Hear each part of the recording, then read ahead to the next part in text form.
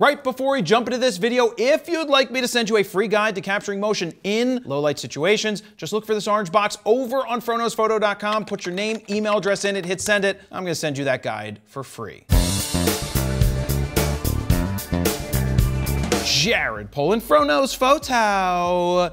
Com, and in this video, I'm gonna put these three cameras up against each other to help you decide which one might be the right one for you. In this case, we have the Nikon Z7 II, the Sony a7R5, and the Canon EOS R 5. So I've taken these out into the real world, I've tested them out, so I have a good bunch of real world experience to help you determine which one is the right one. So these three cameras go perfectly against each other because they're priced anywhere from $3,000 to $4,000 and they're the higher megapixel version cameras that aren't the super duper flagships. That's why these three are up on the table. So Let's start with the specs, starting with the sensors that you find inside of these cameras. The Nikon Z7 II has a 45.7 megapixel BSI CMOS sensor powered by dual Expeed 6 processors. The Sony a7R5 has a 61 megapixel full frame BSI CMOS sensor that's powered by a Bionz XR processor, and the Canon EOS R5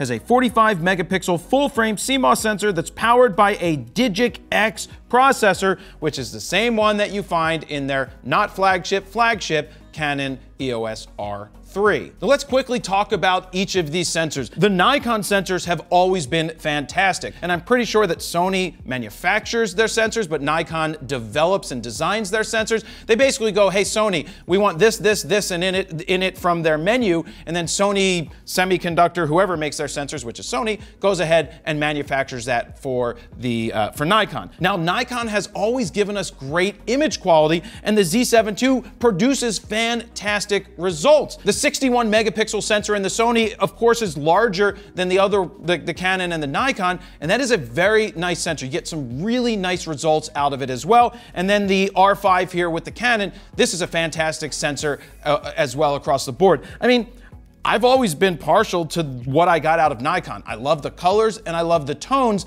Maybe I'm just gonna give a check mark to the Z7 this time for the Z7 II. Not that it's gonna get a lot of check marks, so maybe we'll give it a pity check mark right now. Another thing I should mention is that the Sony is gonna give you a 124 megabyte RAW file when you shoot uncompressed RAW. It's a very large file. Nikon's is gonna be smaller than that, and Canon's is gonna be even smaller than that as well. So keep that in mind when you're deciding which one might be the right choice for you. Nonetheless, across the board, you're gonna get get fantastic results with these cameras because the sensors are fantastic at this point. Now let's move on to the lens mount. You've got a Z mount, you've got an E mount, and you've got an RF mount. Is one better than the other? Well, that's all of course a toss up. The Sony E mount for a long time was a great choice because Sony opened up their lens mount to other manufacturers like Tamron as well as Sigma. So there's a lot of Tamron and Sigma lenses, third party lenses, that work fantastically well and are less expensive on for the E mount. You also have a ton of great glass from Sony that they like their G Master and their G lenses. Now Nikon has their Z lenses. You can adapt older F mount lenses to this camera. I've found that they don't adapt as seamlessly as EF lenses, so many different acronyms here, but the old autofocusing lenses from Canon adapt really well with the EF to RF adapter. And so I give the leg up just for adaptability when it comes to older lenses. Canon gets a check mark for adaptability because those older EF lenses work perfectly well on here, whereas I feel that the F mount lenses don't work as well adapted to the Z mount. Now, the Z lenses that you have are fairly good. They're also a little bit more expensive. And as of now, they're starting to open it up to, at the time of recording this, one third party manufacturer, and that is Tamron. Tamron is making Z mount lenses. Sigma at this point isn't. So, you know, that's something to keep in mind when you're making a purchase. Now, all the way over here on the Canon front, like I already said, older lenses adapt really well. So if you want to jump into a system and you have EF glass, that those lenses are going to do really well on this body. Plus, I really like the options that Canon has made for RF lenses. The 28 to 70 f2 is probably one of my all-time favorite lenses I could ever have wanted. I mean, there's some others that I want at this point. There's a 135 1.8. You've got a 70 to 200 2.8, 24 to 70 2.8, 15 to 35 2.8. A ton of different options to choose from, and I really love the RF glass. So if I'm going to give a check mark for my favorite glass at this point, I'm giving it to the Canon side because I love the RF glass. If I'm going to say which is the best choice economically, because there are no third-party options at this time, there's no Sigma or Tamron in terms of RF glass, but you could adapt older Sigma and Tamron lenses to this with the EF to RF adapter. I know it's a lot of stuff, but if you're looking to save money and go with some third-party native glass for the E-mount, I think Sony is going to get the check mark when it comes to that. And Nikon, you, you know, you don't get it, you, you know, you don't get a check mark for anything. Now let's move on to the ISO ranges. The Nikon will go from 64 to 25,600 natively, expandable up to 102,400. The Sony goes down to 100 and maxes out at 32,000 natively, but it's expandable also to 102,400. And the Canon starts at 100 ISO up to 51,200 natively, and it's expandable up to 102,400 as well. So as you go to higher ISOs with a higher megapixel camera, you tend not to get the most clean images. Now, I've pushed this to 8,000 ISO, not a problem in a studio situation with good glass. So I haven't had a problem pushing this. If you need to push it well beyond those points, yeah, you might see some noise and grain, but I also never go into the expanded modes. Now, Nikon, on the other hand, goes all the way down to 64, which makes it amazing when it comes to dynamic range and when it comes to shooting landscapes. I love the option of going down to 64 if that's a possibility, and Nikon seems to be the only company that is doing that between these three. And when you push the Nikon a little higher, it's gonna be perfectly fine. The same thing, 8,000, 12,800. You really don't need to go much further than those places if you've got quality glass and you have a little bit of light. And if it's too dark, the picture shouldn't turn out anyway. It's really not the camera's fault at that point. And then, of course, you've got the Canon over here. I've pushed these things pretty far. Uh, yeah, the real world review, we did what? What was that, 16,000 ISO, Stephen? Yeah. Yeah, that was 16,000 ISO, and I was like, damn! And that was with an 11 to 24 f4 adapted onto it, and it looked fantastic. It held up really well. So I think all of these cameras are good. If I was to give a check mark, I'm giving a check mark to the Nikon for the fact that it goes down to 64, but in terms of high ISO capability, in my real world usage, I'm going ahead with the Canon for the best ISO capability when it goes to going higher. Let me jump in here real quick because I want to show you this image taken with the Sony a7 R5 and edited with 12, yes, 12 presets from FroPack 3. I just want to show you that it works on almost every one of our presets, starting with Zoolander. That looks cool. Winnebago. Then we've got Prestige Worldwide, followed by November Rain, Mount Airy, Mentos, MDMA, King Contrast, Eckert, Capone, Canadian Tuxedo, Almost Famous, and even Fifth Element. But check this out from Fropack 1. I want to show you one click Skittles. Boom. That's how good Skittles looks in one click on this image. So look, if you're looking to speed up your raw workflow, both on your desktop or on your mobile device, we created 15 custom Lightroom presets that you can check out right now at froknowsphoto.com slash fropack3. While you're over there, you can play with the sliders to see the befores and the afters. And if you decide to pick them up right now, they are currently on sale. Or if you want to pick up the triple play bundle and get Skittles as part of Fropack 1, you get Fropack 1, 2, and 3, and you can save even more. So now let's get back to the video. Now let's move on to frames per second, aka the shooting speed. The Nikon can do 10 frames per second in high plus mode. Now you're getting 12-bit lossless compressed RAW when you do so. Now in the high mode, you can do 9 frames per second, which is 14-bit lossless compressed RAW. And being that this is a mirrorless camera, of course you are able to shoot with the electronic shutter and you still get the same frame rates when you shoot with that. Not that this is really designed to be the camera that you shoot shoot silently, but if you do need to shoot silent, you do have that capability. Now moving on to the Sony, you can get 10 frames per second. Sony's always claimed the 10 frames per second thing, but of course it comes with a slight caveat because that's 12-bit compressed RAW when you shoot in 10 frames a second. Then when you go to their high plus mode, you're only gonna get six frames per second, and that's uncompressed or also lossless compressed RAW. So you're only getting six frames a second. Now keep in mind, it's moving a lot of data, but it is extremely slow. Six frames a second in this day and age is really slow. If you're gonna shoot JPEGs, you can get 10 frames per second. Now they also do have some other RAW options that will be a small RAW at 15 megapixels, medium at 26, and a large, of course, at 61 megapixels. Now when it comes to the electronic shutter in here, it's a head scratcher at four frames a second. I don't even, I don't even, I don't get, I don't get why it can't do the six or the 10 with the electronic shutter, but it just, it, it doesn't. Now, one of the things that Sony added that neither of these two cameras have is the ability to do variable shutter speed. That's where you can put it to 1 800 and 5.39th of a second. It's just for when you're using, when there's a lot of flickering in the background. But this isn't really a camera that you're gonna use silently unless you absolutely need to get your stills and be silent. And on the Canon front, you get 12 frames per second with the mechanical shutter in high plus mode. Now that's giving you a 13-bit uncompressed RAW file. Now, nine frames per second mechanical in high mode is where you get 14-bit uncompressed RAW. And when you shoot with the electronic shutter, you can do 20 frames per second with 12 bit compressed RAW. Yes, 20 frames per second. Not Sony giving you four. How many is that, Steven? Four. Four. And how many you get with the Canon? 20. 20.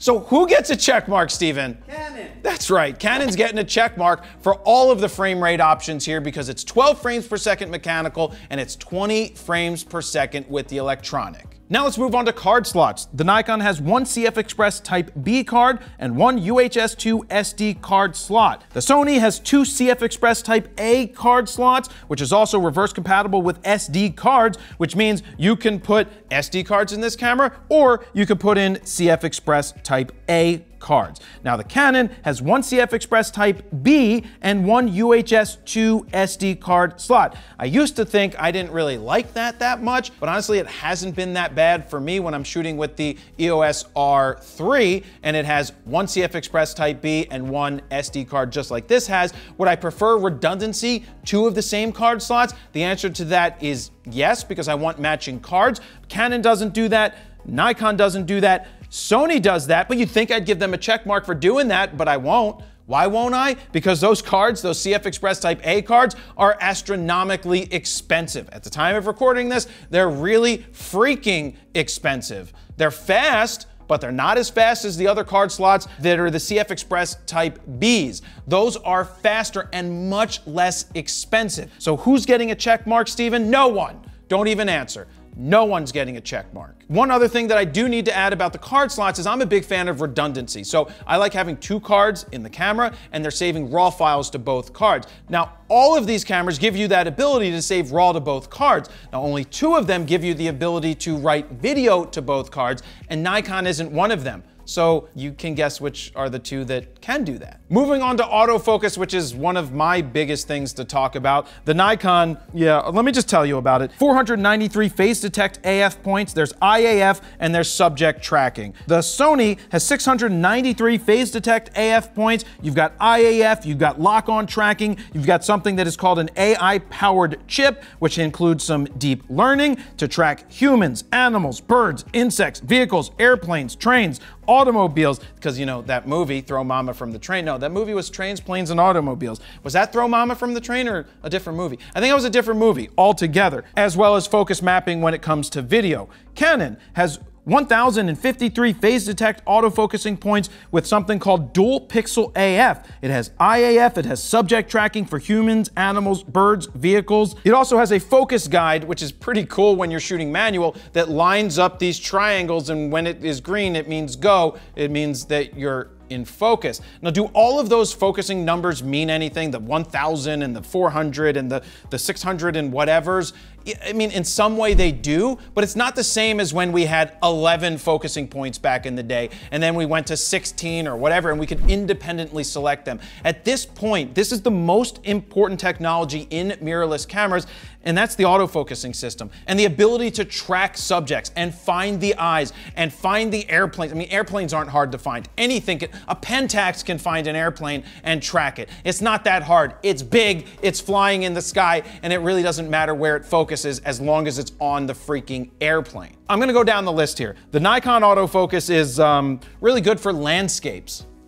Yeah, things that aren't moving. It can autofocus with subjects that are moving. It can shoot sports. It just doesn't do it very well. The only Nikon currently on the market that does well is the Z9. That is the only Nikon mirrorless camera that I can give a stamp of approval to and say it's good-ish and, and does what it needs to do. Doesn't do it perfectly, but it does it a hell of a lot better than the Z7. This is not the camera you look to if you're looking for autofocus. The Canon, on the other side, we're gonna go all the way over here to the Canon. The Canon has dual pixel AF. It has deep learning. It's fantastic. The autofocusing system in the Canon is very similar, if not, it's the same as what you find in the Canon R3, which is a 6,000 plus dollar camera. Now, this doesn't have a stacked sensor like that, but it uses the same processor. It uses the same autofocus, and it is incredible whether you're shooting action or whether you're shooting landscapes, which is of course easy, or Eye AF to find portraits, or if you're shooting wide open with their RF lenses at 1.2 using the 50 or using the 85, you are gonna nail focus time and time again where you wouldn't be able to do that in the past with a DSLR. And it's also a little more difficult with Eye AF when it comes to the, uh, the Nikon. Now, Sony, I went to them last because they just came out with this new AI processor that has deep learning in it, which makes it very similar to the dual pixel AF, where it finds bodies, it locks onto the heads, it finds the back of the head, it tracks the subjects. It does a much better job, and it's much closer to what Canon has had out for a couple of years. These would be my choices when it comes to autofocus. Now, the check mark is going to Canon, clearly. The Canon autofocus, the dual pixel AF, is the best across the board. And after using every new camera for the last five, six years, and especially when it comes to mirrorless, Canon's getting the check mark. If you're looking to shoot action, this is an extremely well-rounded camera. If you're looking to do portraits, you could do it with all of them. But when it comes to autofocus, Canon is absolutely getting the check mark.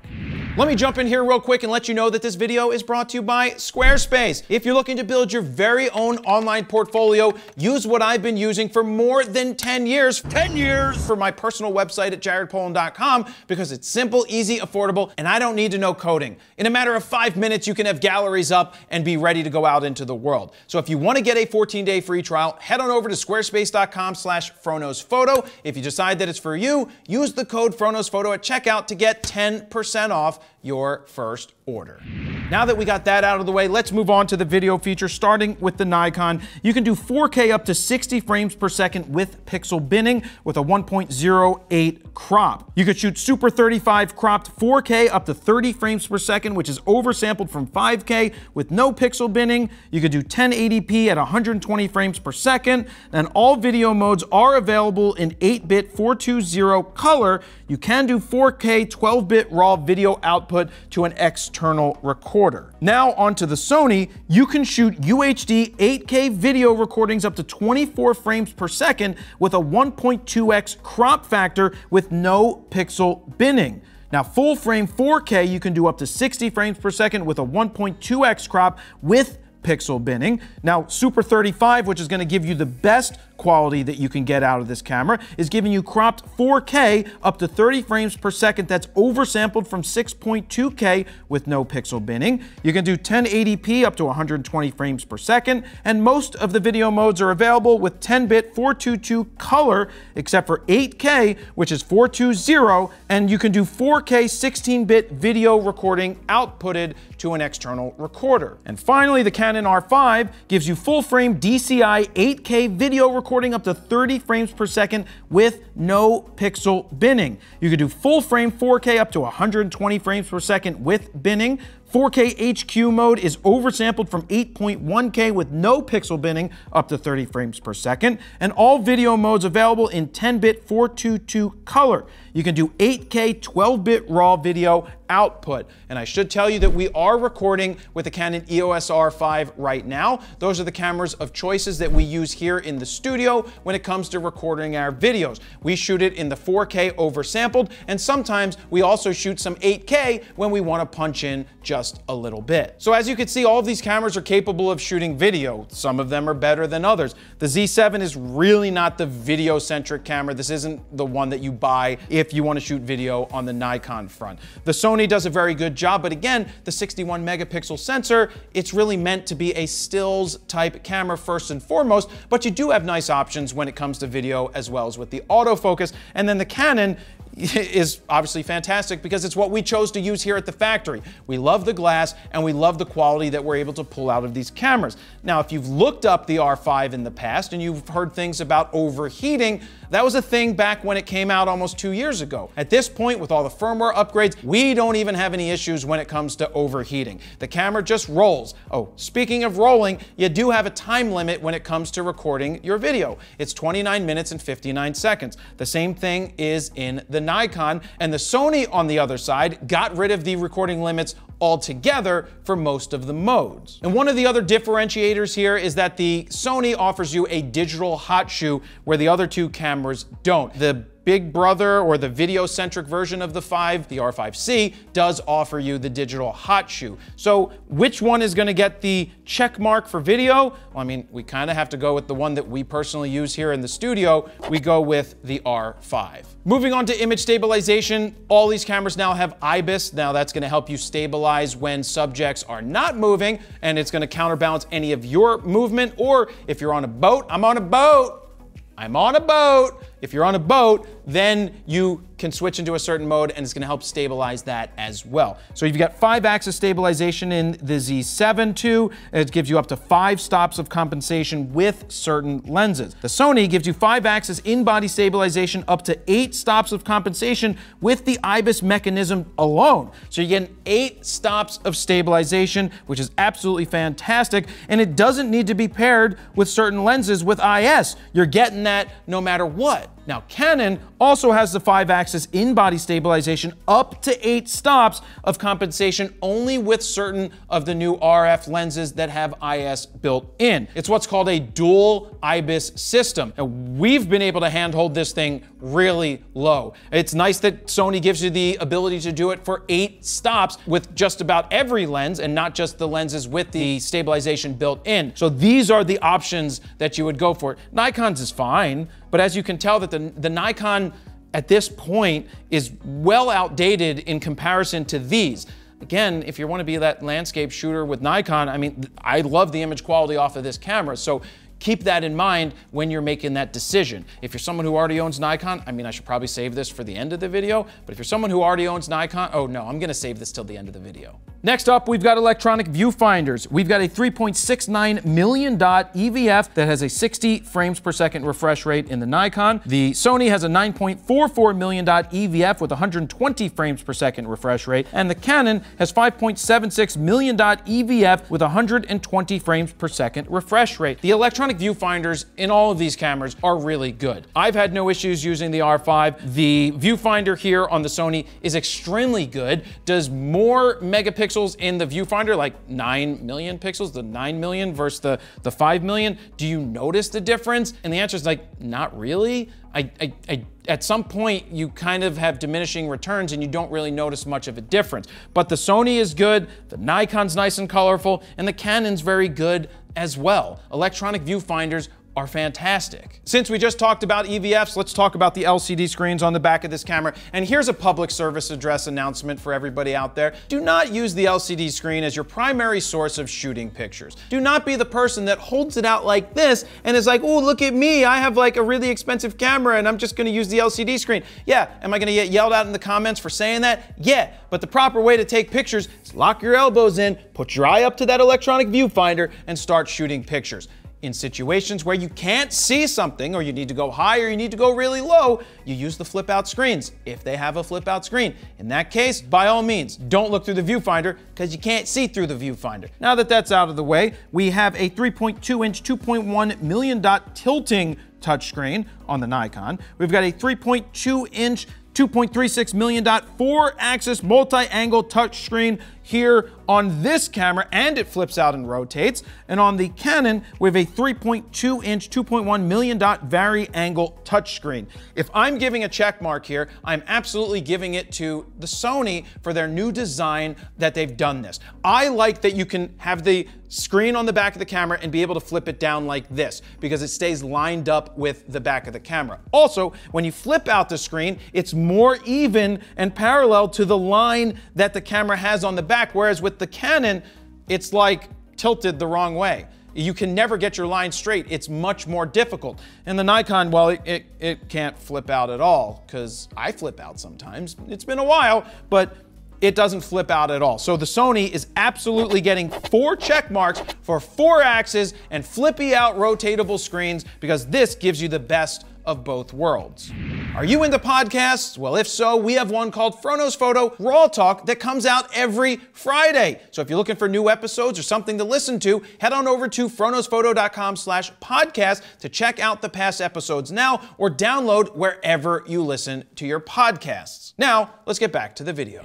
Battery power, which one of these cameras will last longer? Like the Energizer Bunny? I don't know because it's not very easy to test that in real world situations. You have the EN-EL15C battery with the Nikon. You do have USB-C charging while you're using it. You can get a grip and you can actually hot swap batteries when you're shooting video. Of course, you could shoot it to swap it when you're doing video as well. The Sony uses an NP-FZ100 battery, AKA their Z battery. You do get USB-C charging while using the camera and you can get a grip as well to put two batteries in and get the vertical shooting capability. The Canon has the LP-E6NH battery with USB-C charging. Now you do need to use that specific battery when it comes to getting the most frame rates per second, the most frames per second when you're shooting stills. So keep that in mind when you're buying your batteries. You want to get the latest ones that go for this specific camera. You can also put a grip on this so you can put two batteries in the grip as well. No one's getting a check mark here because no one really knows.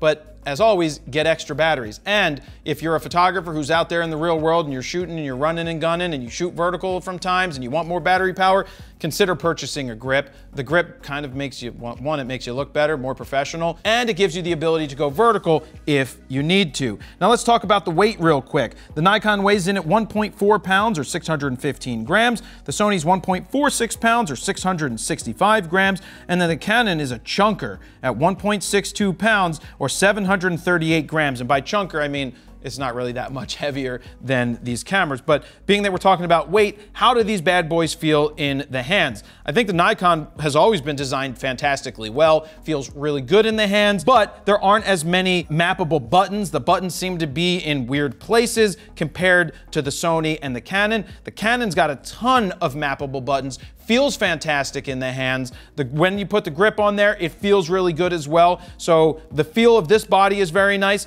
And the feel of the Sony, Sony's done a great job of making their bodies start to feel better. In the past, they didn't feel very good. Still has more of that rubbery or the plastic feel when you touch the rubber. So that's one thing to keep in mind. But a ton of mappable, customizable buttons is always great. Sony does a great job with that. Uh, Nikon's not getting a check mark.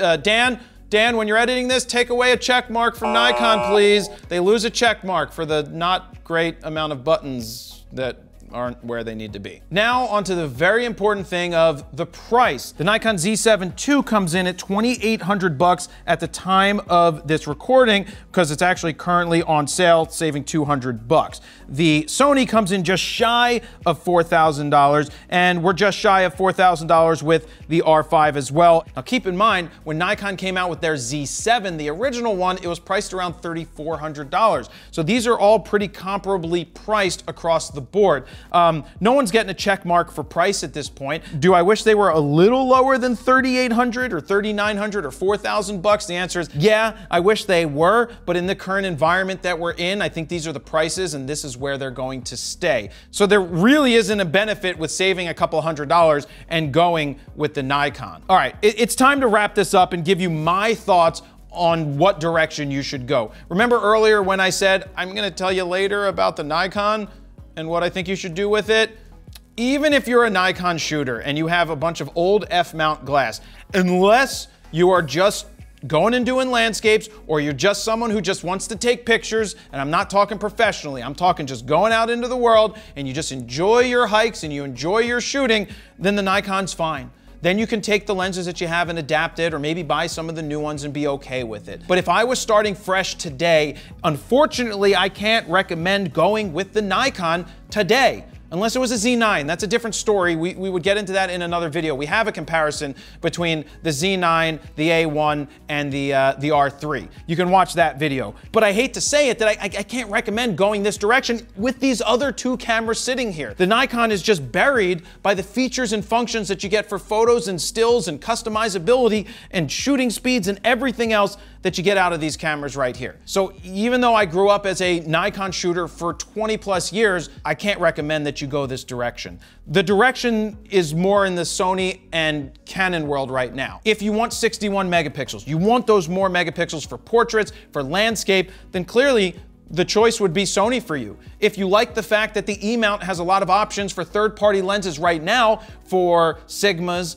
and for Tamrons, and you can get Sony lenses, then this is a great choice. This is gonna be very good for, for video. It's gonna be very good for stills. But I think the most versatile, and by think, I know the most, most versatile one is the R5. It's what we've been using for a long time, not just for stills, but also videos in the studio. It's so well rounded. It's gotten a lot of great firmware upgrades. They've gotten rid of or they've taken care of that overheating problem that should have never been a problem at the forefront and was a major headache for Canon because it was an issue. Now it's no longer an issue. This camera holds up today. Even though the Sony is newer, this camera's autofocus capability is fantastic. If you're a sports shooter and you don't want to spend $6,500 and get something like an R3, this is great. I know professional shooters that shoot hockey for Getty Images that use this over the R3 because they love the 45 megapixels for cropping. Not my cup of tea, but they like to crop, and that's why they stick with this. RF glass is fantastic.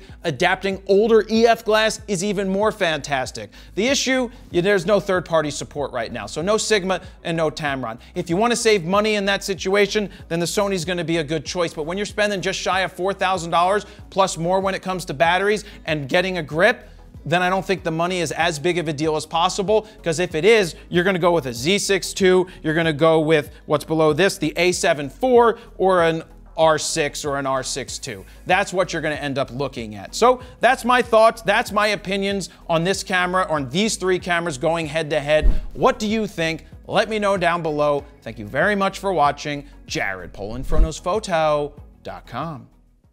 See ya.